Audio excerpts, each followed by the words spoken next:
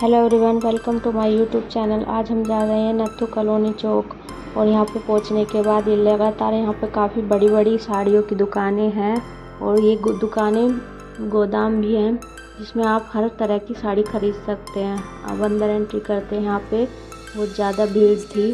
पैर पैर रखने की भी जगह नहीं थी और हमने अपनी साड़ी खड़े होकर ही सिलेक्ट की, साड़ी सिलेक्ट करने में काफ़ी परेशानी हो रही थी। यहाँ पे हर तरह की साड़ी थी, काफ़ी अच्छे अच्छे कलर और वैरायटी हर तरह की आपको देखने को मिल सकती है।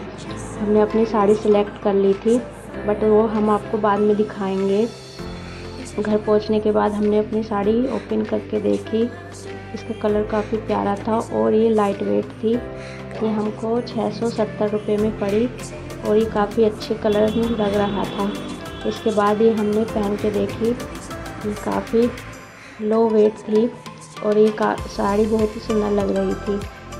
अगर आपको ये साड़ी ख़रीदनी है तो आप नत्थु कलोनी चौक से ख़रीद सकते हैं। यहाँ पे काफ़ी वैरायटी में आपको साड़ी देखने को मिल सकती है। और अगर आपको ये लॉन्ग वीडियो पसंद आए तो वीडियो को लाइक और सब्सक्राइब कर देना।